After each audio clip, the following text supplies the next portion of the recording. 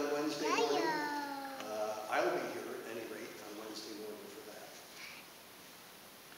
In our prayers this morning, um, Jean Bean is hospitalized. She's at Millard Fillmore Suburban. Uh, She became ill just before the blizzard started, had to really ride it out at home before her family could get her to the hospital. Uh, I believe on Monday they got her to Millard Fillmore. So pray for Jean Bean. We also are praying for a number of families who are grieving the loss of loved ones. Uh, Sherry Yarmouth, who has been in our prayers for quite a long time, did pass away uh, on Christmas Day. And uh, she was the mother-in-law of uh, Wanda Alfonso's daughter. So uh, the family is, is planning the funeral for this week. Also, uh, Wanda Alfonso's cousin, Larry Heatherly, passed away out of town. And we saw in the newspaper recently that Robert Cant passed away. Um, Used to live in Lockport, member of the Cant family of our church. So we pray for all of those families. And we begin our worship this morning as we are gathered for a service of Holy Communion. We'll follow divine service setting number one. We begin by standing to sing hymn 379, O Come All Ye Faithful.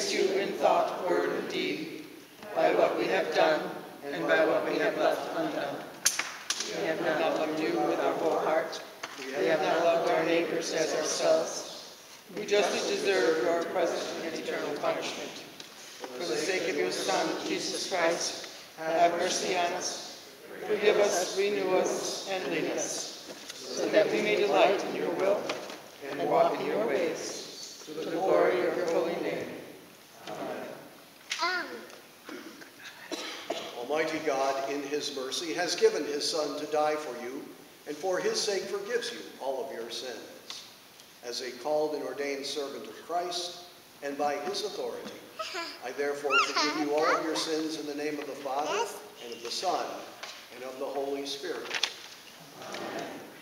Ah! Oh, sing to the Lord a new song, for he has done marvelous things. His right hand and his holy arm have worked salvation for him. The Lord has made known his salvation. He has revealed his righteousness to the sight of the nations. He has remembered his steadfast love and faithfulness to the house of Israel. All the ends of the earth have seen the salvation of our God. Make a joyful noise to the Lord, all the earth. Break forth into joyous song and sing praises. For to us a child is born, to us a son is given, and the government shall be upon his shoulder. Glory be to the Father, and to the Son, and to the Holy Spirit, as it was in the beginning, it is now, and will be forever. Amen.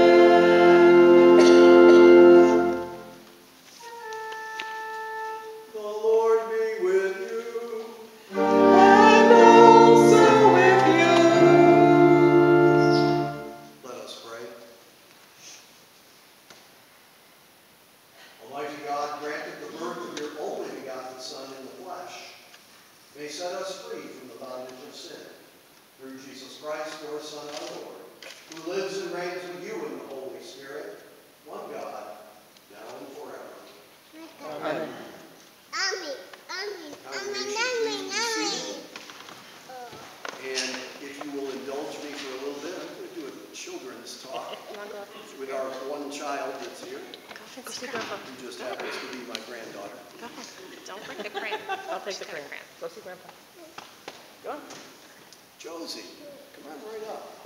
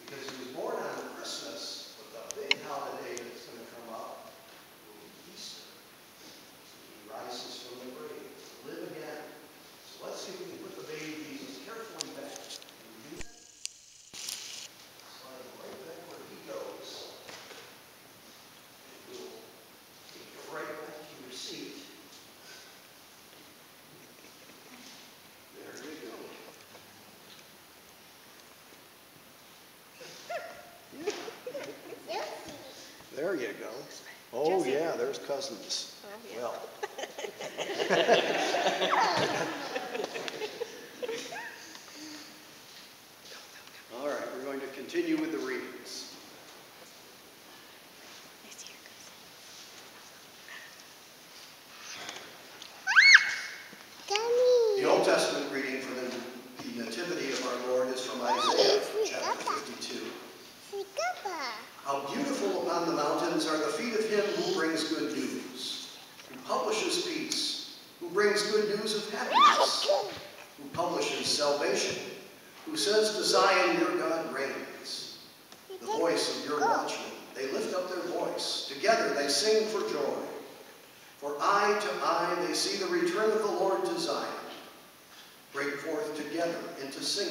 waste places of Jerusalem.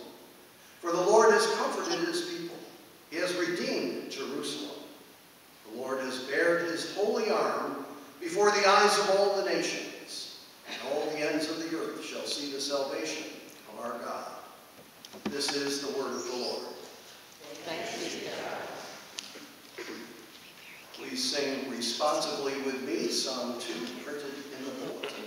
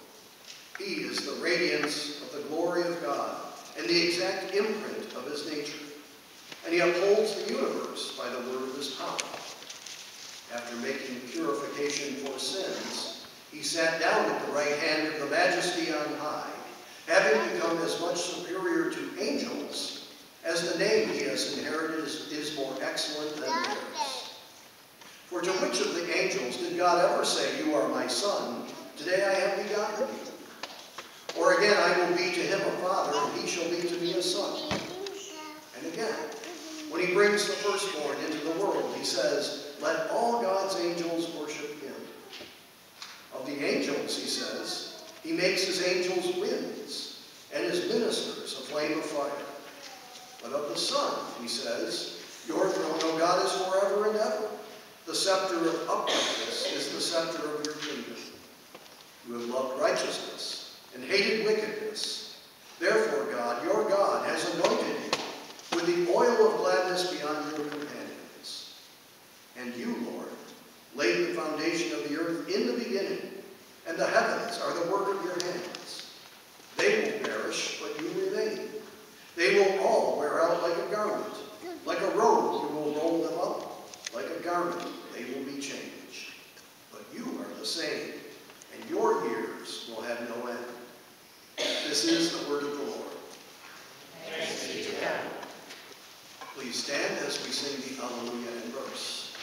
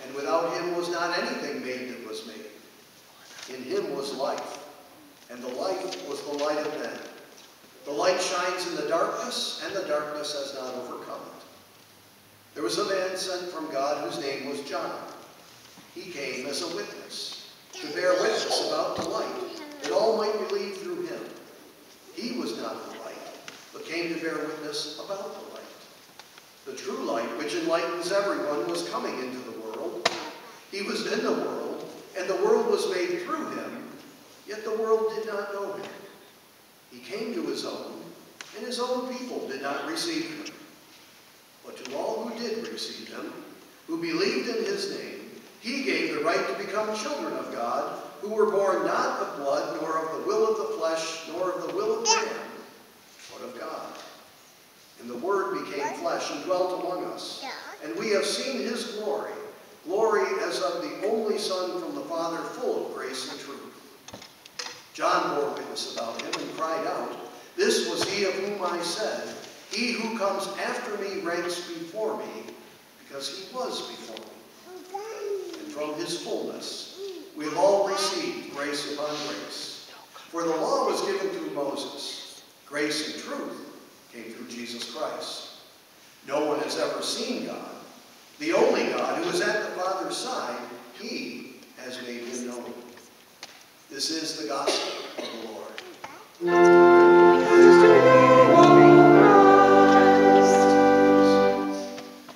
We confess our faith speaking together the words of the Nicene Creed.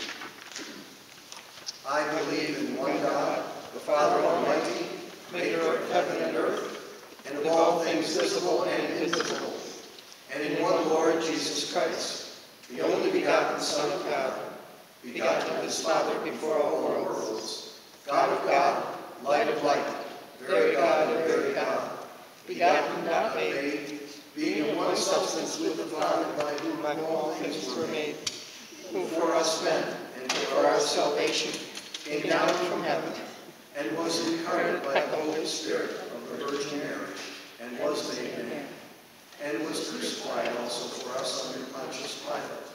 He suffered and was buried, and the third day he rose again, according to the Scriptures, and ascended into heaven, and sits at the right hand of the Father. And he will come again with glory to judge both the living and the dead, whose kingdom will have no end. And I believe in the Holy Spirit, the Lord and giver of life, who proceeds from the Father and the Son, who with the Father and the Son together is worshipped and glorified, who spoke by the prophets. And I believe in one holy Christian and apostolic church. I acknowledge one baptism for the remission of sins, and I look for the resurrection of the dead and life world to come. Amen. Congregation, please be seated as we sing hymn 388, Go Tell It on the Mountain.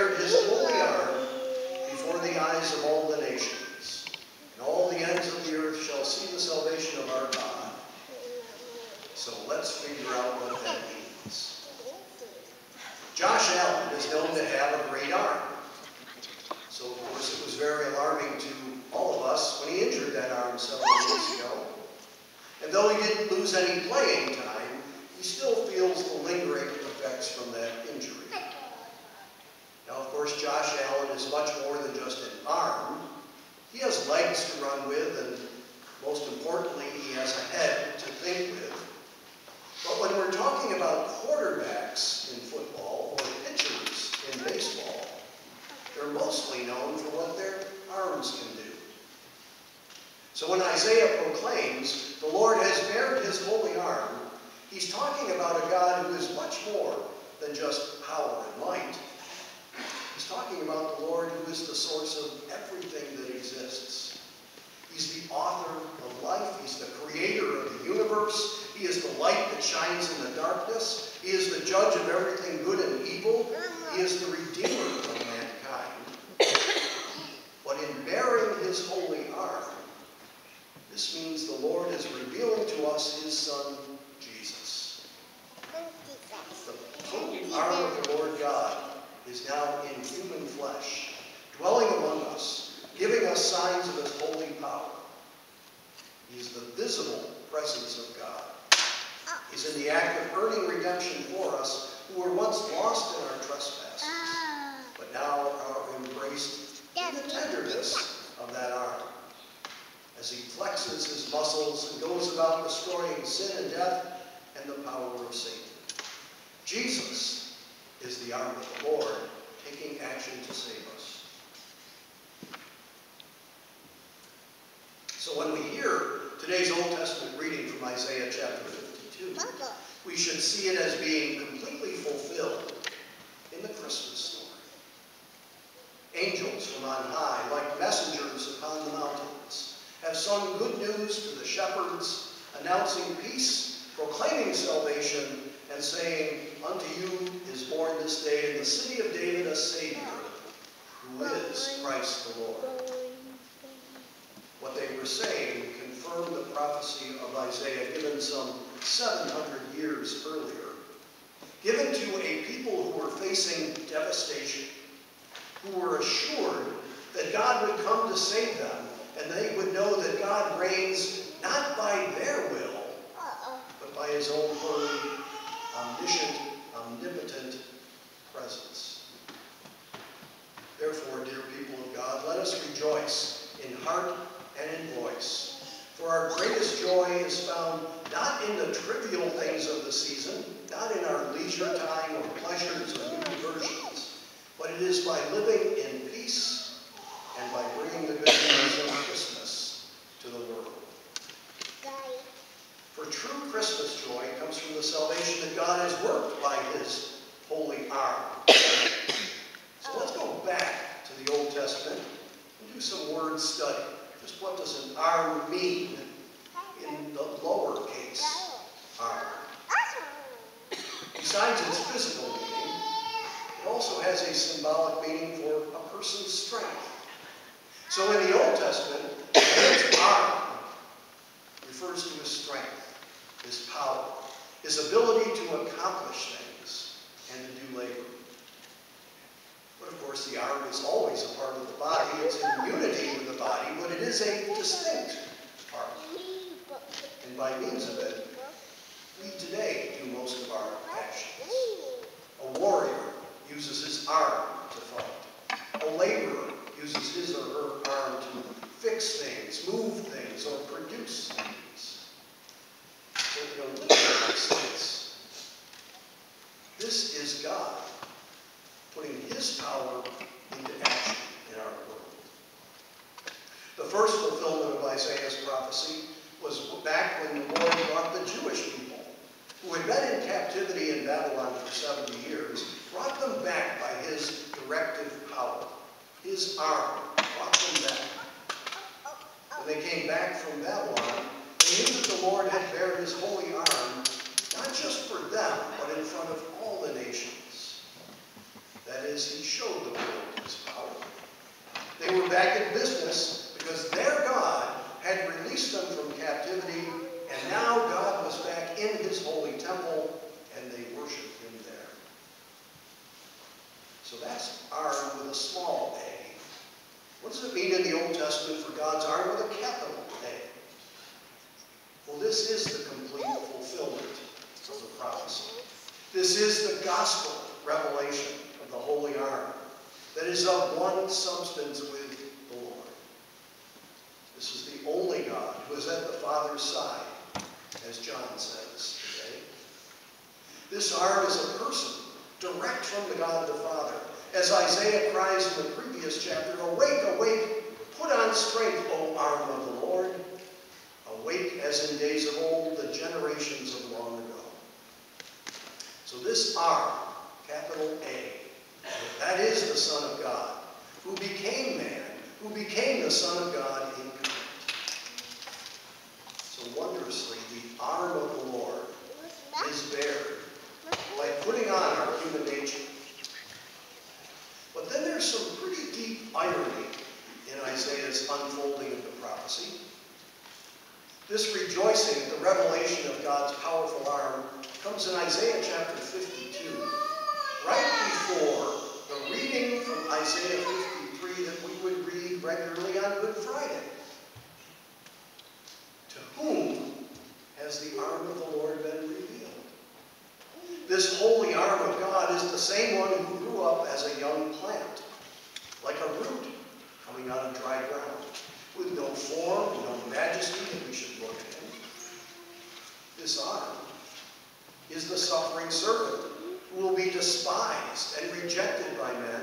He will be a man of sorrows who is well acquainted with grief. This is the one who will bear our griefs and carry our sorrows. This is the one on whom the Lord will lay the iniquity of all of us. It will be the will of God crush him rather than crushing us. And to human eyes, unless we look through eyes of faith, humanly, this arm is not going to seem that glorious. But by his knowledge shall the righteous one make many to be accounted righteousness, because he will bear their iniquities. So what God does with his holy arm is what is all important. So the arm of God will return to Zion. In the Old Testament, God will take up residence again with his people. The word, though, will become flesh and dwell among us, as John proclaims in his gospel. So yes, behold, the dwelling place of God is with man, and he will dwell with them, as God's revelation to John declares. The arm of the Lord in this world comes to work salvation for us. What is salvation? It's rescue. It's deliverance from something evil that afflicts us. For the Jewish people, the Old Testament people, Isaiah prophesied that God would bring them back to Jerusalem where he would reestablish his presence among them in the temple. This was a salvation from physical hardships, from earthly kings and tyrants. But it also meant back then, as it does now, salvation from God's own wrath and judgment. Through the arm of the Lord, who is our dear Lord Jesus Christ, through Christ, God delivers us from death, but also from slavery to sin, and ultimately from bearing God's punishing wrath against sin. But salvation means more than just that. It also means the possession of a new health and wholeness. When the arm of the Lord works salvation, he also gathers us in toward himself. So that freed from everything evil, we can now enjoy every good gift in a holy fellowship with him. The arm of the Lord is the one who declares,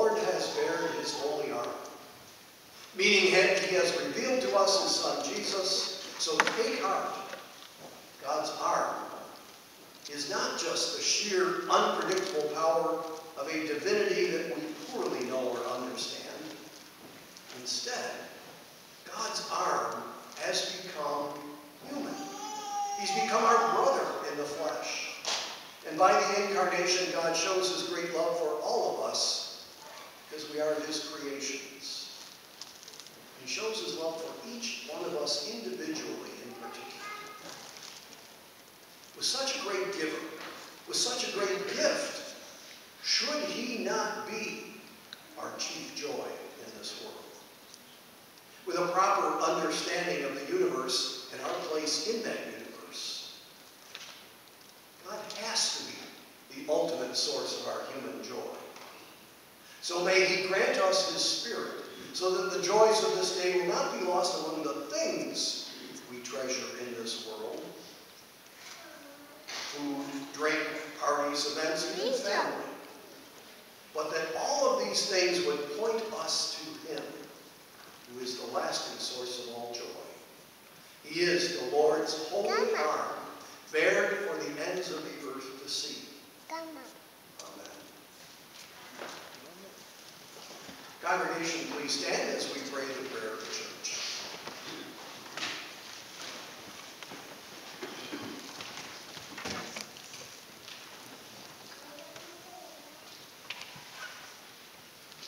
Heavenly Father, we give you thanks that your Son, the eternal Word, has become flesh and dwelt among us, full of grace and truth. Extend his praise into all the world, that many would come to hope in his steadfast love. Lord, in your mercy, Hear our prayer. Send us forth to publish your peace and to proclaim your good news of happiness. Keep us faithful to declare your gracious reign in Christ. Bless the work of missionaries at home and abroad, that all the ends of the earth may see your salvation. Lord, in your mercy, Hear our prayer. as our families gather in this holy season, give us patience that we may be slow to judge and quick to forgive. Comfort the lonely in your presence, and help us extend the welcome of our homes and the friendship of your grace. Make us mindful of those less fortunate, who celebrate this blessed feast in poverty and want, and teach us to be generous. Accept our monetary offerings, our voices in praise and thanksgiving, and the living sacrifice of our bodies to your service. Lord, in your mercy. Your Son upholds the universe by the word of his power. Grant our nation to walk humbly before you. Bless our soldiers who stand watch this day. Keep them in safety as they serve us, and uphold their families while they are apart. Lord, in your mercy. Hear our prayer. Merciful Father, guard and keep all who are sick, lonely, overwhelmed by grief, or are poor in spirit. We pray especially for those families who grieve at this holiday time, for the Yarmouth family as they mourn Sherry's loss, the Heatherly family as they mourn Larry's loss, the Kant family as they mourn the loss of Robert. We pray also for the needs of Peter Sirocco and Robin Wall, Les Brewer Jr., Henry McAdoo, Marge Chenoweth, Adrian Sherman, Lyle Weaver. For AJ McGraw, Karen Mensch. For Sue Struckman. For Roxanne Atkins. For Jean Bean. For John Mish. Barbara Reed. Chris Santa. And Charlie Branch. That they may be comforted and healed according to your good and gracious will. Let them look to Jesus Christ and be reminded that he is the light no darkness can overcome. Lord, in your mercy, grant us to partake worthily of the body and blood of Jesus, with faith in his bodily presence. We may depart with grace upon grace from his fullness. Lord, in your mercy, we thank you, Lord God, for all your people who have gone before us and now rest in your presence. Us faithful with them until that day when you make all things new. For you live and reign with Christ and the Holy Spirit, one God, now and forever. Amen. Please remain standing if you are able as we sing hymn 374, Gentle Mary,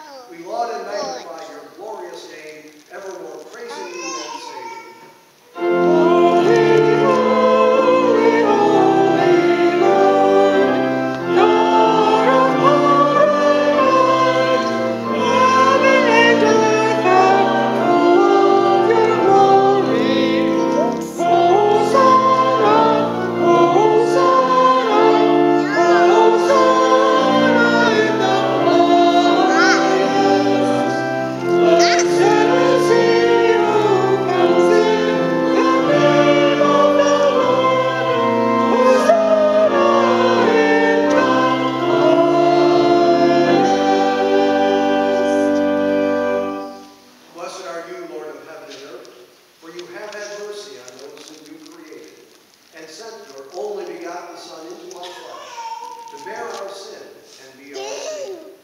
With repentant joy we receive the salvation accomplished for us by the all-availing sacrifice of his body and his blood on the cross. Gathered in the name and the remembrance of Jesus, we beg you, O Lord, to forgive, renew, and strengthen us with your word and spirit grant us faithfully to eat his body and drink his blood, as he bids us do in his own testament. Gather us together, we pray, from the ends of the earth, to celebrate with all the people the marriage feast of the Lamb and his kingdom, which has no end. Graciously receive our prayers, deliver and preserve us. To you alone, O Father, be all glory, honor, and worship, with the Son and the Holy Spirit, one God, now and forever. Amen. Christ, on the night in which he was betrayed, took bread, and when he had given thanks, he broke it and gave it to the disciples, saying, Take it, this is my body, which is given for you. Do this in remembrance of me. In the same way also, after supper, he took the cup, and when he had given thanks, he gave it to them, saying, Drink of it, all of you. This cup is the New Testament in my blood, shed for you for the forgiveness of sin. Do this as often as you drink it in remembrance. As often as we eat this bread and drink this cup, we proclaim the Lord's death until he comes. Amen. Come, Lord Jesus. O Lord Jesus Christ, only Son of the Father, in giving us your body and blood to eat and to drink, you lead us to remember and confess your holy cross and passion, your blessed death, your rest in the tomb, your resurrection from the dead, your ascension into heaven, and your coming for the final judgment. So remember us in your kingdom and to pray. Our Father, who art in heaven, hallowed be thy name. Thy kingdom come, thy will be done, on earth as it is in heaven. Give us this day our daily bread, and forgive us our trespasses, as we forgive those who trespass against us. And lead us not into temptation, but deliver us from evil. For thine is the kingdom, and the power, and the glory, ever. The peace of the Lord be with you always.